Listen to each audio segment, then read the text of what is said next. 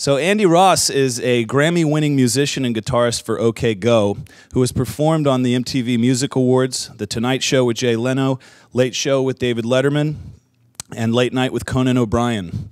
OK Go's Here It Goes Again video, known affectionately as the Treadmill video, won YouTube's 2006 Most Creative Award and was one of the early YouTube phenomenons with nearly 40 million plays to date.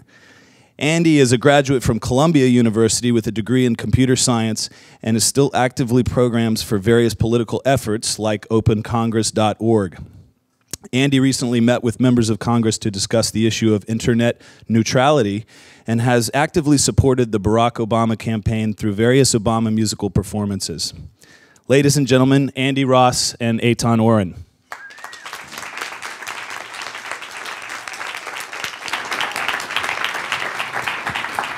Thank you. First of all, uh, I want to thank you for coming in today. The, the record's coming out on November 11th uh, in stores, but Andy actually brought advanced copies for everybody here today, which is awesome. So you will all be the first ones to hear it. And it's a great record, and we're, we're honored to have you. Thank you. I'm uh, honored that you guys chose this over the nap room, which I'd like to check out later. Um, so, but thanks. Cool. Um, I wanted to start out actually talking about your first record. Um, not that many people necessarily know about it. Um, it's something that you did back in 2004. Um, and that record was very much uh, an emotional breakup record. And um, at that time, you were a, a programmer in New York. Um, and that record kind of led to your moving to LA and joining OK Go. Can you tell us a little bit about that period of time?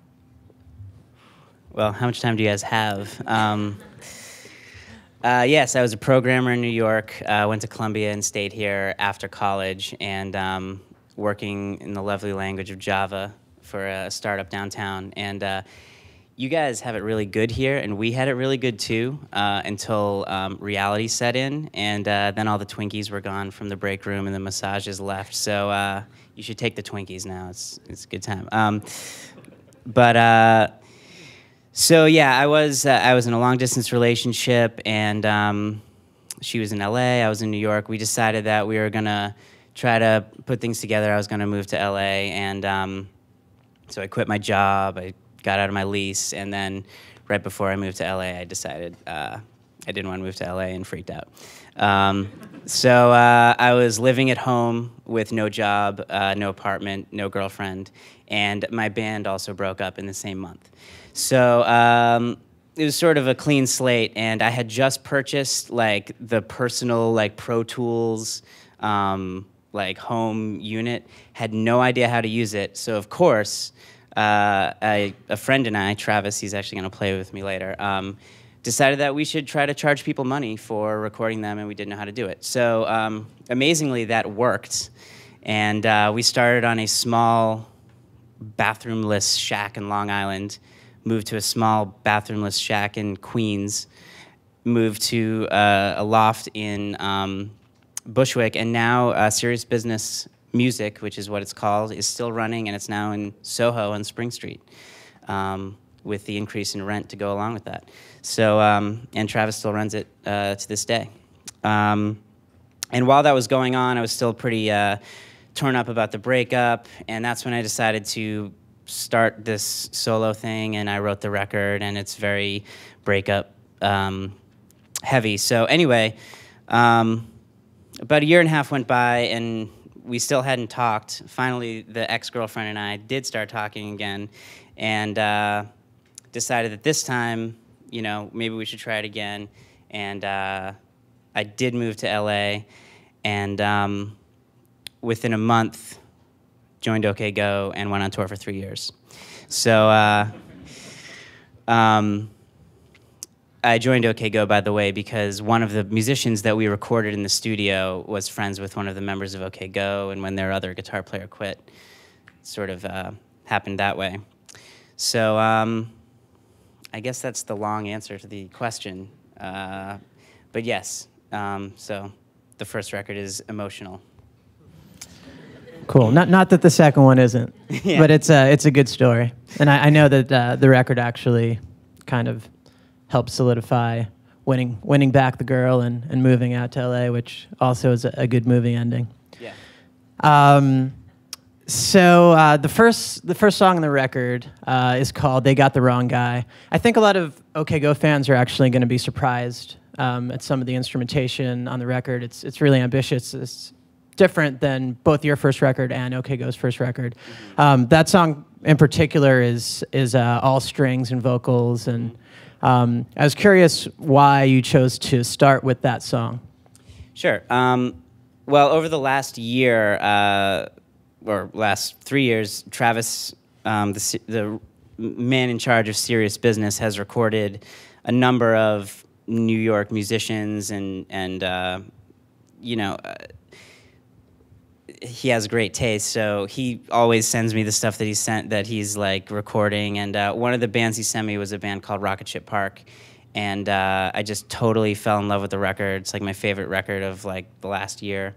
And uh, the man in charge of that is Josh Kaufman. He'll be also playing with us. And um, I had a bunch of songs that sort of were sitting around as we were touring around with OK Go, just sort of like writing them on tour buses and in hotel rooms. And I had this one song that was, it was kind of good, it was kind of okay, but uh, just based on what I heard from the Rocket Ship Park stuff, I knew that Josh would do an amazing job sort of coming up with a like very interesting string arrangement and um, just gave him the liberty to do whatever he wanted to do with it. And uh, came out really great. Um, it's a short song, it's about uh, a minute 40 or two minutes. And uh, I just think it's an interesting way to sort of give the listener a curveball right off the bat. And um, it's sort of intentionally put there to sort of, um, you know, sort of maybe dismiss any expectations that someone might have because of either the last record that I did or OK Go or anything else. Just kind of wanted to be a little weird at the top. Cool. So we are actually going to show the video for the Secret Dakota Ring first single off the record. Uh, this is also going to be a, a world premiere here since nobody's seen it yet. We're actually going to, we're, we're working right now on, on uh, figuring out a premiere online on YouTube for this. Um, this is another song that I know uh, Josh Kaufman produced. And uh, is there anything you want to tell us about the video before we roll? Um, no, why don't we just roll it and then we can talk about it. All right, this is The Fade to Black.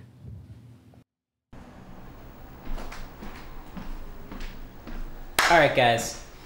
This right here, this is gold.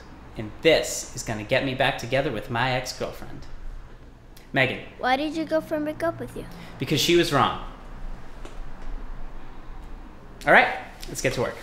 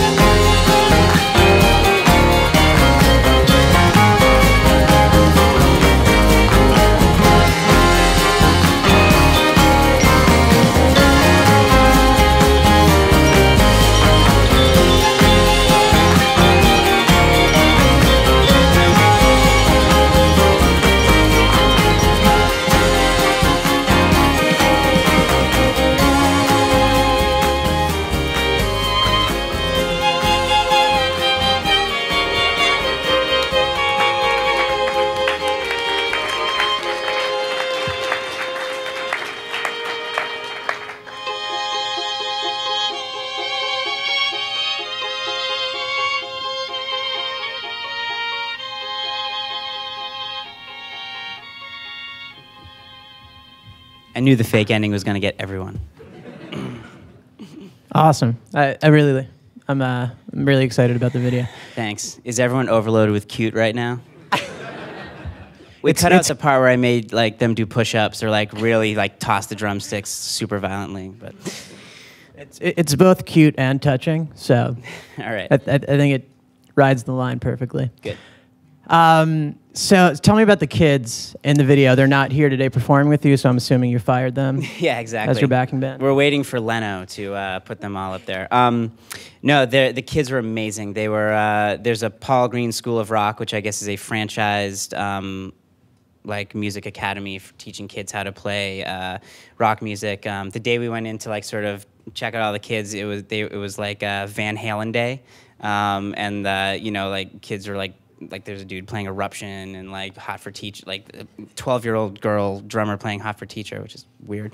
Um, but uh, uh, but you know they were awesome um, and they can really play. And it's, it's sort of hard to tell in the video. I mean there's some shots of the drummer where you can see she's actually playing the right stuff but they can actually really play and it's kind of scary how like confident they are. It's just kind of like leaning against the wall like um, and they're 10 years old. Um, but uh, it was great and you know with with uh, five kids you also get 10 stage parents and even they weren't that uh, bad actually if you're watching this you're all great um, so uh, it was it was we're just we're happy that we found those kids because they were all awesome Cool. So uh, I wanted to talk about the title of the record. It's Cantarell. What's Sure. the significance of that? Um, well, Cantarell is the largest oil field in Mexico. Um, I think it's the second largest in the world, uh, but that should be fact checked. Um, and uh, just recently, I've been been sort of reading a lot about uh, oil and poli- you know oil and energy policy and politics and stuff like that, and it's been on my mind. I mean, it's it's it's not a it's not a overtly political record. Um, it just seemed to fit um, what I was sort of like thinking about at the time. So uh, it's also a cool word. It is. Uh, let, us talk about the label. So you told us that Serious Business is your label that you're running with Travis Harrison. Um, I noticed you had a, a, su- a subtle branding uh, on, on the cassette tape in the video for that. Uh, That's actually referring to the serious businesses of the song, but Interesting. It is it is a, it is a subtle branding thing as well. Cool. So I, I was just curious. O- OK Go's on Capitol, but Mm-hmm. you're putting this record out on your own. What would you say? Um, how, how would you compare the experiences between being on a on a huge label, big budget project versus doing something on your own? And do you have a preference, or are there things that you like about one and like about the other? Yeah, well, I'll tell you in six months uh, once we get this one out. Um, I mean, the obvious big difference is money, and uh, you know, for for a major label record, they're going to be spending money, and for this, I'm going to be spending money. Um, yeah, a lot of money. Um, so, uh, you know, but the the so yeah, I mean, a major label is going to um, pump a ton of money into it, get a lot more exposure than it probably would, and you know, I think we have sort of realistic expectations for the sort of scale of the indie release. Um, but you know, there are benefits. We could do whatever we wanted with the record. We could make that video any way we wanted.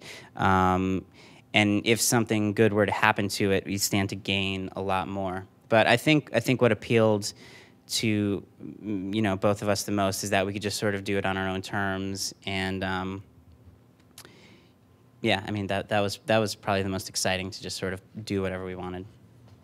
And I know OK Go is especially great at utilizing the internet and um, having you know a lot of, buzz with fans and people online. Are, are you guys going to try to do anything along those lines for the record?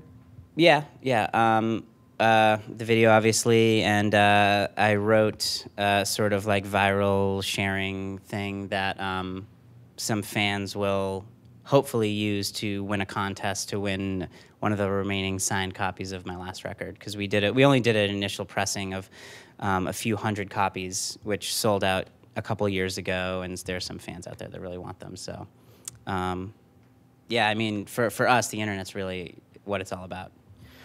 I I think that um, OK Go really, in a lot of ways, is a band that that showed everybody what could be done for bands um, on YouTube, and um, we're gonna show a little video now. Actually, um, the first video that OK Go did uh, in, involving dancing was the the backyard dancing, and there were you guys actually had a contest. Uh, yes. Well, actually, what happened first is we we made this video, or we made the backyard dancing video. I don't think we're showing that, but basically, it's us performing this sort of elaborate choreographed dance in one take in in. Uh, in the backyard of the singer's house, and we sort of put it up just to like show our friends. And uh, we recorded it as a, re- a rehearsal tape, but we thought it was funny, so we put it up to show our friends um, this dance, and it actually sort of spread virally. Um, and the next crazy thing is that uh, videos of other people doing the dance, like at weddings and talent shows, and like in the middle of the street, started showing up on YouTube. So we were like, "This is awesome! Why don't we do a contest where, um, if you do a dance and we'll be the judges, and we we decide that you're the winner, you'll we'll fly you out and you can do it on stage with us at a show." So, um, but yeah, it started out as this totally um, just user generated um, thing, which wouldn't have been possible without YouTube. So we can this this is sort of like a compilation of a bunch of the different ones.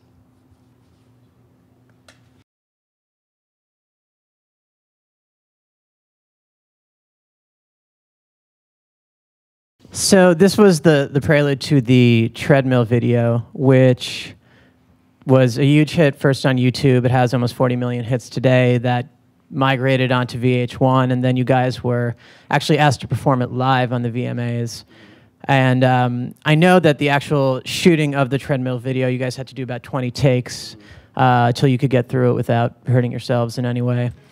How did you feel when you were then asked to do it live in front of millions of people? I said, "Hell no, I'm not doing that." Um, uh, no, I was I, I, I maybe was the most apprehensive. Um, but uh, we actually heard, we actually got offered this when we were in Spain doing some festival, and uh, we sort of had a group meeting, and I was like, I don't know, guys, I don't know, what if we fall, you know, stuff like that. But uh, uh, I I was convinced, and um, it turned out to be a good decision that we did it. Um, uh, and it, it it was fun. We came back to New York um, and sort of practiced for like uh, ten days, and um, to simulate the uh, you know the, the celebrities that would be in the crowd, we got like 50 People magazines and plastered like pictures of celebrities on the walls in front of us.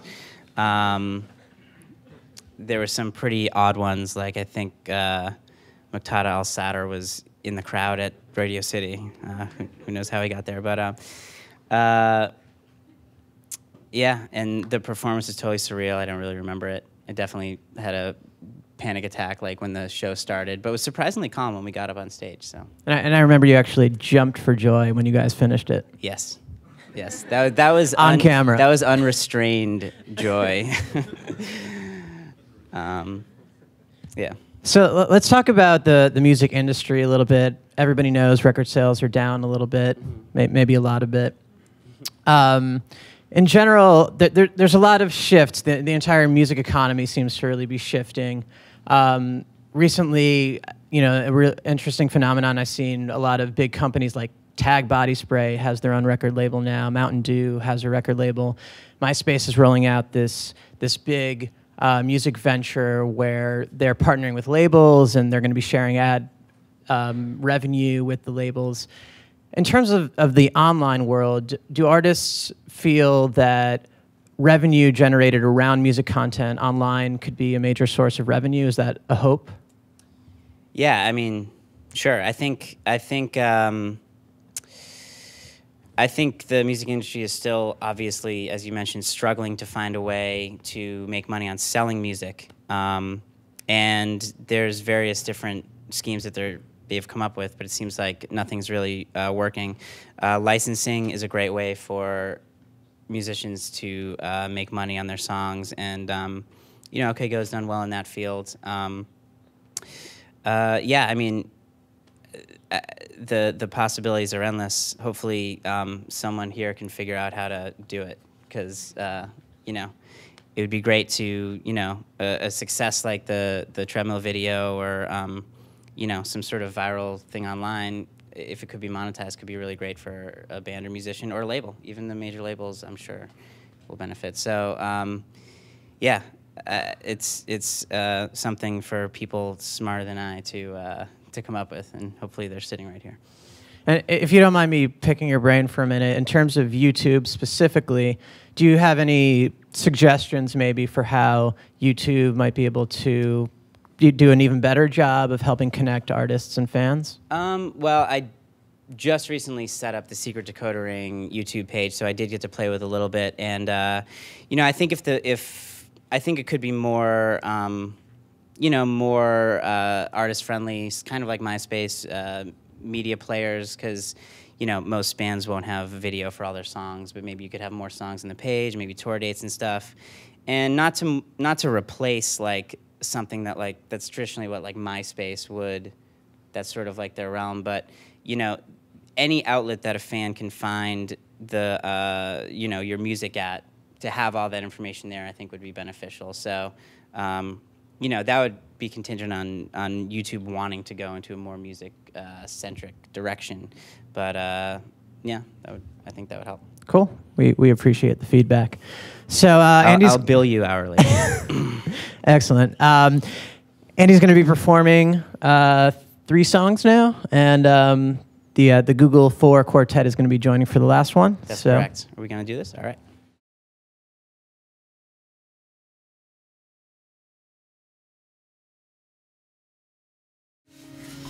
So this is off the uh, the aforementioned breakup record. Uh, it's called 23.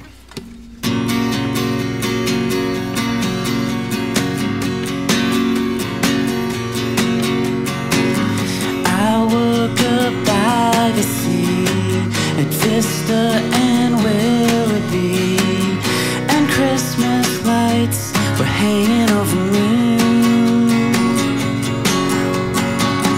Walk through the kitchen door over black and white tile floors, and those empty shelves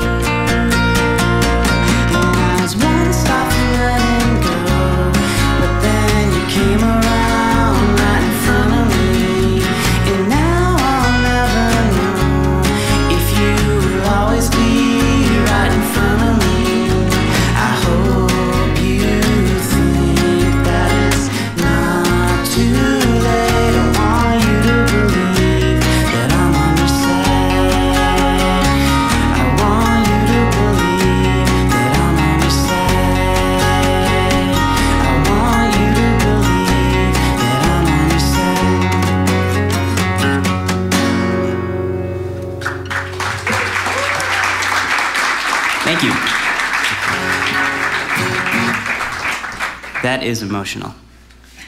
Um, this next song is off the new record, which y'all have. It's called I Blew Myself Up Over You, which is either the worst or best name ever.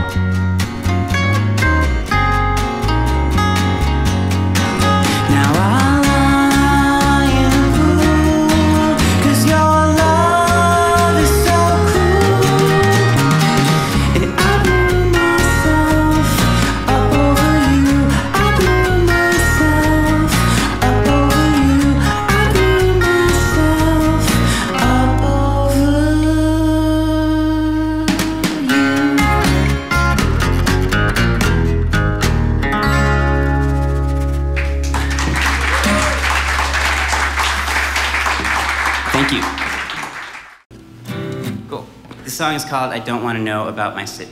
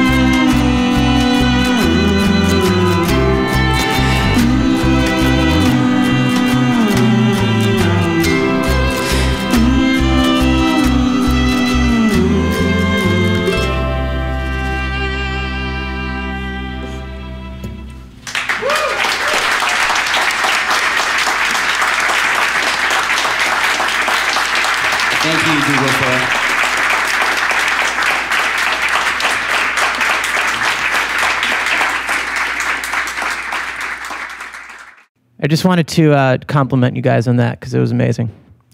Really. Um, I know that uh, the, the the string arrangement that they just did, Josh actually wrote especially for this event, and um, I think the quartet did an amazing job. So, thank you. Um, I wanted to ask you about your computer programming because you, despite being a rock star, are actually still an active computer programmer um, in your spare time. Why, why would a rock star choose to keep computer programming in his spare time? Um, are there any developers here? Yeah, all right. It's really funny that that uh, the Salesforce can't be here today and it's all engineers because Andy kept asking me, are, are the engineers going to be there? I want there to be engineers. Oh, I actually, I'm the one that sent that email. It's a fake. It's just so the engineers would be here. Um, uh, awesome. Keep it strong, guys. Uh, yeah. Um, uh, well, when uh, so I was a programmer. That was what I, I actually went to school for electrical engineering with a minor in CS. Um, and that's kind of what I always did, and then realized that I didn't really want to have a job where I sat at a desk all day. Um, but I told that story. So um, You didn't mean that insultingly, did you? no, no, no, no, no. I Because we, love sitting at desks all day. I'm just, yeah. Well, you guys I'm just putting it out there. you guys can sit on these like exercise balls, so it's it's and it's very colorful here. I would love to work here, but I don't think I could make it through the like uh, 15 rounds of uh, brain teasers. Does that happen? Is that does that is that true? Cool. Yeah, I uh, I got offered a Microsoft interview when I graduated, and I heard about that, and I just I didn't think I would be very good at that, so I didn't I didn't go. Um, but um, yeah, so when I when I started touring with OK Go, um, uh, they when I started they were they were you know paying me to tour with them, and uh, it was it wasn't very much. So I sort of started programming on the road as uh, a necessity to you know make sure all the bills um, could get paid and everything, and. Um, I sort of just got used to doing it. When you're a touring musician, there's lots of downtime. Um, you'll have a sound check uh, at five, and then a show at you know eleven, and then you're in a city. You know, you're in like Omaha um, on like a Tuesday, and uh, not Omaha's great if it's anyone from Omaha, but. Uh, um, you know, there's there's lots of downtime, and especially if you're not feeling particularly motivated to go see what Omaha has to offer, um, you will spend 16 hours in the dressing room of whatever club you're playing. So I just sort of like, because I sort of needed the work, learned how to do it on the road. Um, and then as OK Go became more successful, I sort of switched, moving from a regular freelance thing to working on projects that I cared about. Um, and right now I focus on a, a website called open, uh, opencongress.org. And um, it's a, uh, it's a Ruby on Rails site. What do people think of Ruby on Rails? In one of these? One of these? Yeah. Um, I give it one of these, especially, uh, especially version one. So um, uh, it's a website that tracks all of the bills, senators, representatives, committees in Congress. Um, it aggregates lots of data, official government data, um, uh, aggregates news and blog content, and is also a user community site. So you can um, you can create an account and find people uh, who care about the same bills, cares about the same issues. Um, the main problem we thought with finding information about like legislation and um, what your representatives are doing is that the government really only provides one website called Thomas, which has all the official data, but it's um, I mean, it's not even Web 1.0. It's like Web negative 57. Um, it's like so unreadable. The interface is terrible. Um, so we wanted to present the data in a way where people could see the important stuff up front and interact with other users.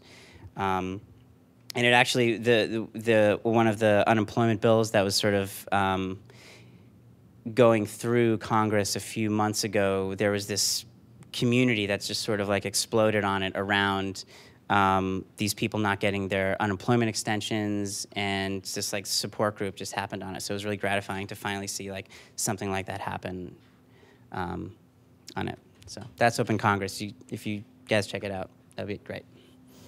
Uh, talk to us a little bit about internet neutrality. I know recently you uh, met with members of Congress and consulted about it.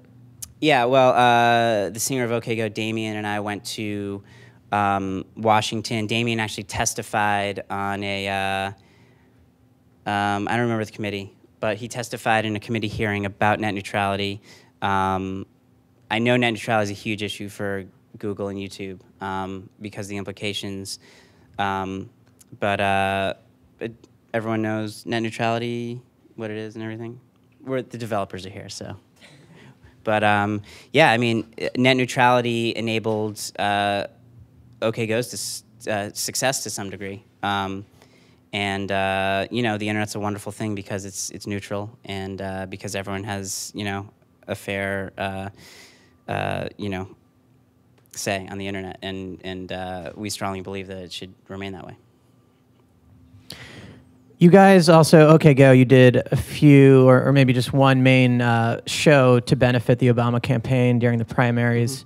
Uh, I know you actually got to meet Barack Obama recently. Can you tell us what that was like and how are you feeling about the, the way the election is going and the debates Yeah. coming up? I was very giddy. Uh, he's very tall. Um, uh, yeah, we happened to be playing in um, Laramie, Wyoming, the same day that he was giving a speech, and um, we just we, we just got lucky, and we were able to meet him, and uh, it was very quick. It was about 30 seconds, and we got a picture, but uh, it was great. Um, yeah, I don't know. I I think the election's going okay. It's hard to tell right now.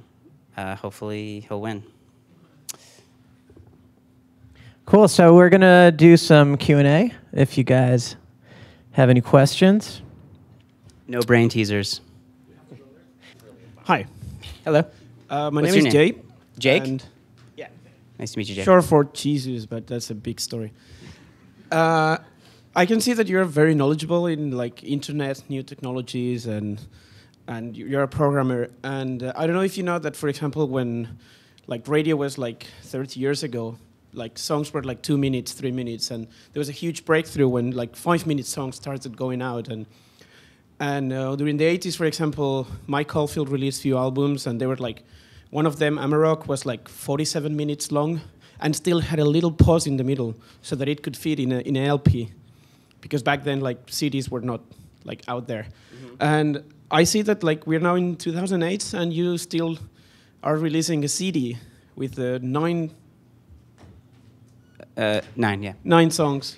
Yeah. And have you thought about like using like other medias or other ways to to like put music out there, like 15 little songs for kids uh, Sure. that don't fit in a CD at all, and or like something that is short, something that is too long, something that is like totally different, and, and not restrict yourself to a CD. Sure, that's a great question.